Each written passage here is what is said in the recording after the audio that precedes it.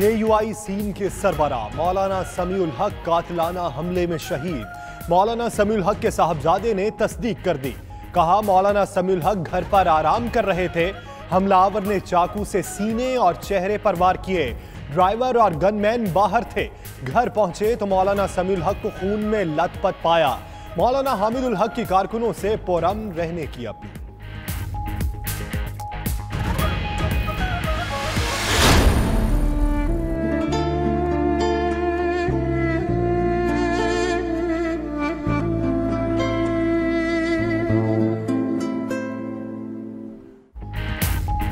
مولانا سمیع الحق مذہبی اسکالر عالم اور سیاستدان تھے۔ دارالعلوم الحقانیہ کے محتمم اور سربراہ تھے۔ دفاع پاکستان کاؤنسل کے چیئرمین بھی رہے۔ متحدہ مجلس عمل کے بانی رکن اور حرکت المجاہدین کے بانی بھی تھے۔ مولانا سمیع الحق دوبارہ سینٹ کے ممبر بھی رہے۔ صدر پاکستان کا واقع پر گہرے دکھ اور رنج کا اظہار۔ وزیر اعظم نے ذمہ داران کا فوری تعین کرنے کی ہدایت کر دی۔ چودھری شجاعت، چودھری پرویز الہی سمیت سیاسی اور مذہبی رہنماؤں کی حملے کی مذمت، وزیر اعلیٰ پنجاب نے رپورٹ طلب کر لی۔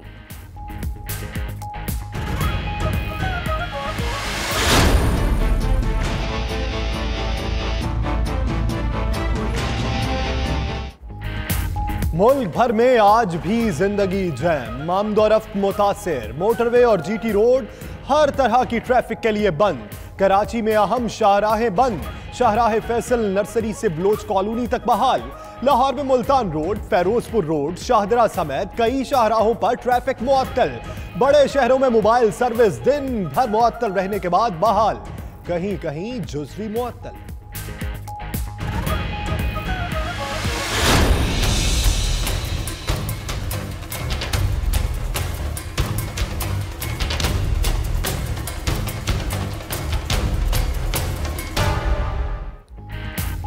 لاہور میں احتجاج کے باعث بیس پروازیں متاثر، ٹرینیں تاخیر کا شکار ہونے سے مسافر خوار۔ پنجاب سندھ اور بلوچستان میں تعلیمی ادارے بند رہے۔ خیبر پختونخوا میں آج نجی سکولز نہ کھلے۔ All Pakistan private schools federation کا کل بھی ملک بھر میں سکولز بند رکھنے کا فیصلہ۔ پنجاب یونیورسٹی میں کل ہونے والے امتحانات ملتوی۔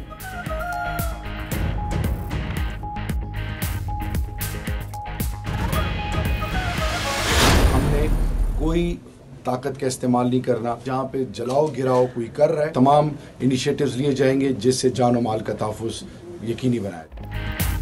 حکومت اور احتجاجی مظاہرین کے درمیان مذاکرات کامیاب ہونے کے قوی امکانات۔ مذاکرات کی کامیابی کے بعد دھرنا ختم ہونے کا اعلان بھی متوقع۔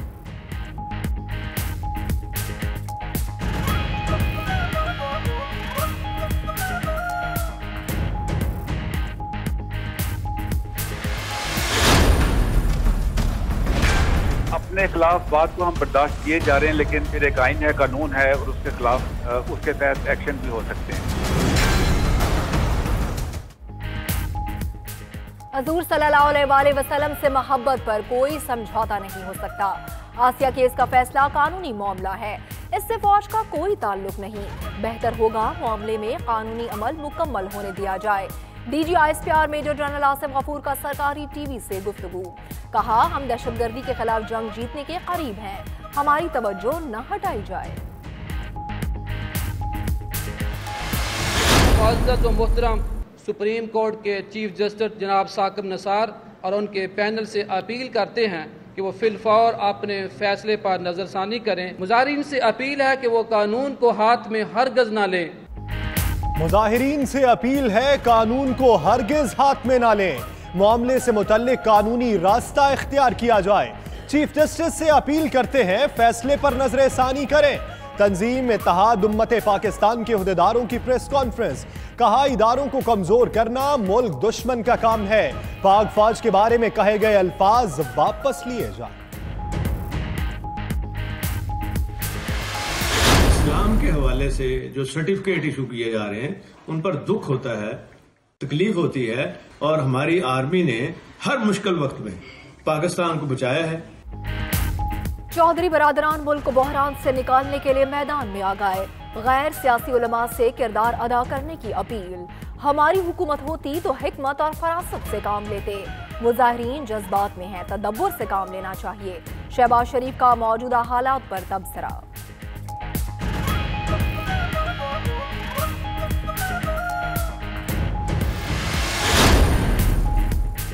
شیخوپورہ میں احتجاج کی آڑ میں شرپسندوں کا کیلوں کی ریڑی پر دھاوا۔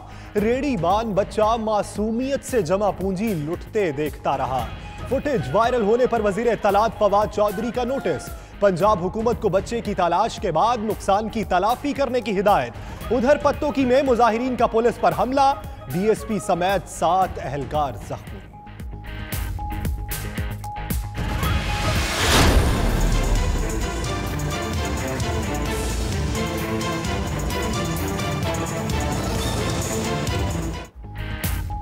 ملک بھر میں پیٹرول بحران پمپس پر پیٹرول دستیاب نہیں، کہ بورڈ لگ گئے۔ لاہور میں بیشتر پمپس بند، جہاں دستیاب، وہاں لمبی قطاریں۔ کراچی میں پچاس فیصد ذخیرہ خاتون۔ آل پاکستان پیٹرولیم ڈیلرز ایسوسی ایشن کے مطابق رات تک سٹاک صرف بیس فیصد رہ جائے گا۔ کئی شہروں میں پیٹرول بلیک میں فروخت ہونے لگا۔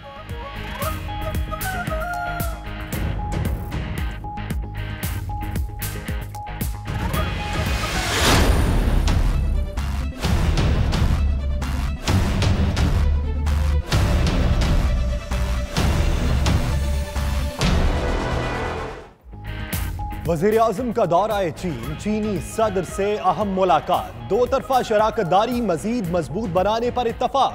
چیلنجز سے نمٹنے کے لیے پاکستان چین کے تجربے سے مستفید ہونا چاہتا ہے۔ وزیر اعظم کی گفتگو۔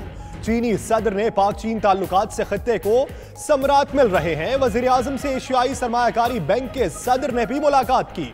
پاک چین وزرائے خارجہ کی ملاقات۔ دو طرفہ علاقائی و عالمی امور پر تبادلہ خیال۔ قوم کو جلد بڑی خوشخبری ملنے والی ہے۔ چین سے بڑا اقتصادی پیکج ملنے کا امکان ہے۔ وزیر اطلاعات فواد چودھری کی میڈیا سے گفتگو۔ کہا، دورہ چین تاریخی اہمیت کا حامل ہے۔ پاکستان کی اقتصادی مشکلات کم ہوں گی۔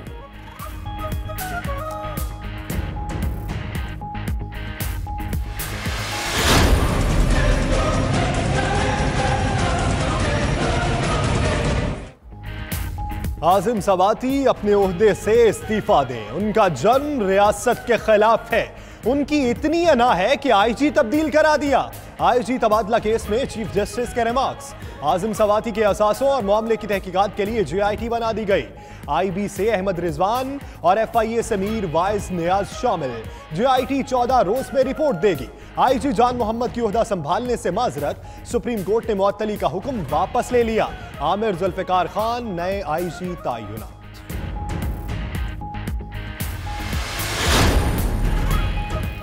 کسی سیاستدان میں پیسے تقسیم ہونے کا ثبوت نہیں ملا اسکر خان عمل درامت کیس میں D G F I A کا اعتراف۔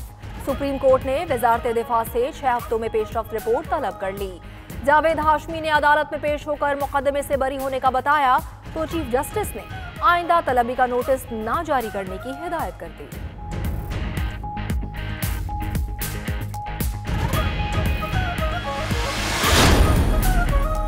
رجحان میں پنچایت کا دو ڈاکٹرز بہنوں کا جاہل کزن سے شادی کا فیصلہ۔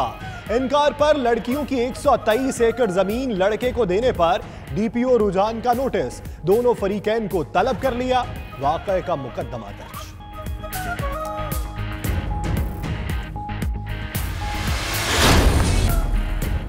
پاک بحریہ کی سیز پاک مشقیں، شمالی بحیرہ عرب میں بحری جہاز شکن میزائل فائرنگ کا شاندار مظاہرہ۔ میزائل اپنے اہداف تک کامیابی کے ساتھ پہنچے، فلائی پاسٹ کا بھی شاندار مظاہرہ ہوا۔